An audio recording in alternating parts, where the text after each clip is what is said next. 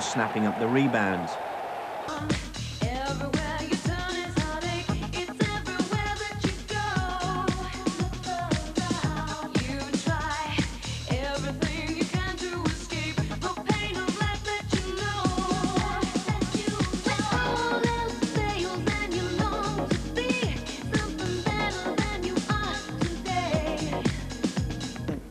American officials say one raid on the Republican Guards near the Kuwaiti border caused a huge fireball that could be seen for 200 miles.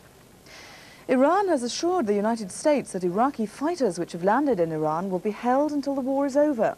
U.S. officials say that more than 20 Iraqi aircraft have landed there. America's Secretary of State said Iran had promised to stay neutral. We have been assured that uh, Iran intends to remain uh, totally neutral in this uh, conflict and that the uh, aircraft, that, that aircraft from either side of this conflict uh, that uh, arrive in Iran will, be, will remain there for the duration of the conflict.